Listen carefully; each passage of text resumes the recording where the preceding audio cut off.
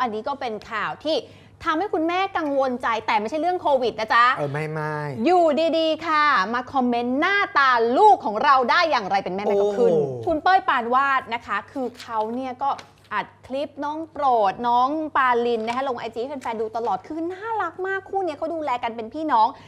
แต่แทนที่จะไปชื่นชมความน่ารักของเขากัน ด้านมีคอมเมนต์ไปพูดถึงนะคะบอกว่า แมบกันทั้งครอบครัว เด็กๆ หน้าตาเหมือนพ่อไม่หล่อไม่สวยเลย ถ้าเหมือนแม่เป้ยบ้างคงหล่อคงสวย ได้พ่อพันธุ์ไม่ดีเดีคุณยวผู้ชมโอ้ท่านคืออย่างนี้ เอาจริงแค่นี้ก่อนอะก็เป็นค่ะคำวิพากษ์วิจารณ์ที่เกินไปมากถูกๆสำหรับคนต้องที่ไม่รู้จักกันแค่ตามไอจีกัน ถูกต้องคุณเป้ยก็เลยตอบโต้กลับ จะสอนให้ลูกทั้งสองคน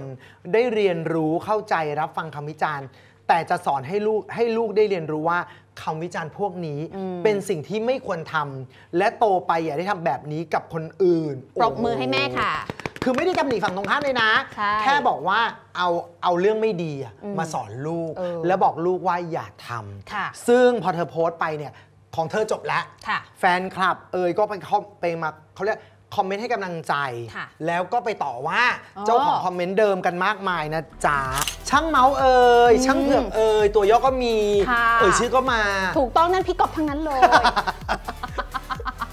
subscribe ด้วย อยากรู้วันนี้นางพูดอะไรดาราเดลี่ official ค่ะ